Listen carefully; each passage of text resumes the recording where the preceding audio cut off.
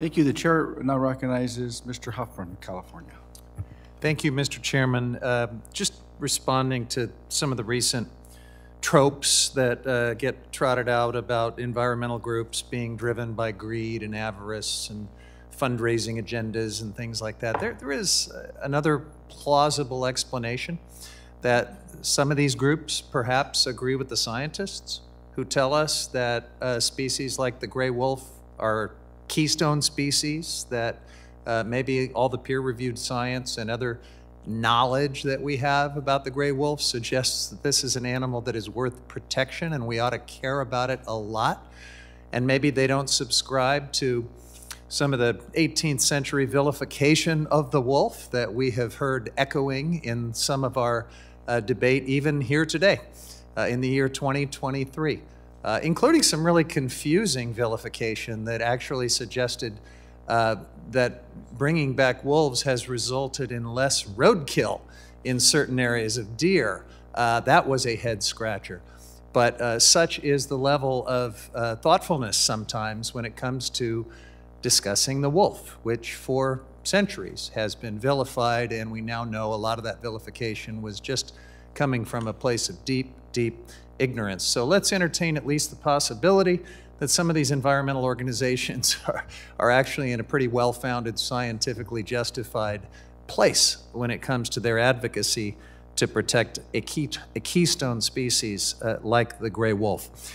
I also have to note that uh, we have heard some flowery encomiums to states' rights here today. It's been fascinating uh, that we shouldn't do all this listing and we shouldn't pass these amendments to uh, backstop species from extinction because state authority is so important and we should defer to it and respect it.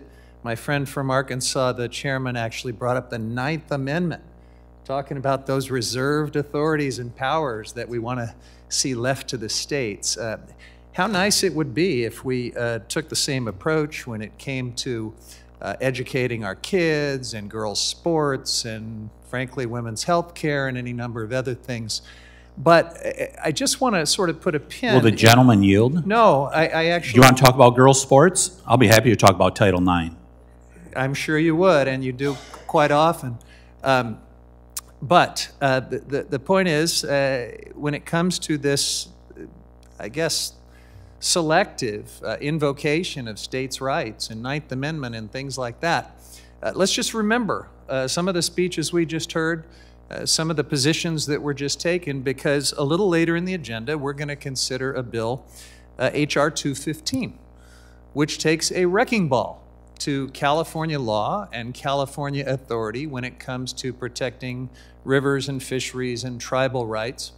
And so I want to believe that my colleagues are sincere in these encomiums to states' rights and state authority and getting the federal government out of the way and not uh, doing heavy handed federal preemption, encroaching on this wonderful state authority. Um, and I assume that they'll be joining me uh, in opposing that legislation, or at least supporting sensible amendments to make sure that it's not running roughshod over states' rights. So let's keep an eye on that and brace for political whiplash potentially. And with that, I yield back.